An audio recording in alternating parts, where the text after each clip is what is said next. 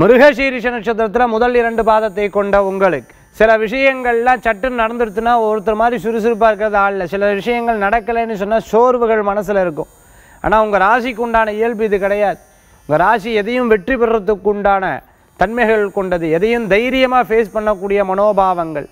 தைரியஸ்தானத்துக்கு உண்டானது தான் உங்கள் ராசி. அதனால் இந்த சோர்வுகளில் ஒரு மணி நேரம் ரெண்டு மணி நேரம் இருக்கும். திருப்பி பழையபடி எல்லா காரியத்தையும் வெற்றி கொள்றதுக்கு உண்டான யோகங்கள் இருக்குது எதிர்பார்த்த பணவரவுகள் உண்டு. ஃபினான்ஸ் பண்ணிட்டு இருக்கிறவாளுக்கு மேலும் மேலும் நல்ல முன்னேற்றங்கள் இருக்கக்கூடிய வாய்ப்புகள் உண்டு.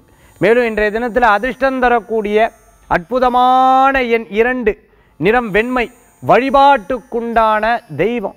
சிவ வழிபாடு. ரிஷபராசி என்பவர்களுக்கு சிவ வழிபாடு. அதீதமான பலன்களை தரும் வழிபாடு.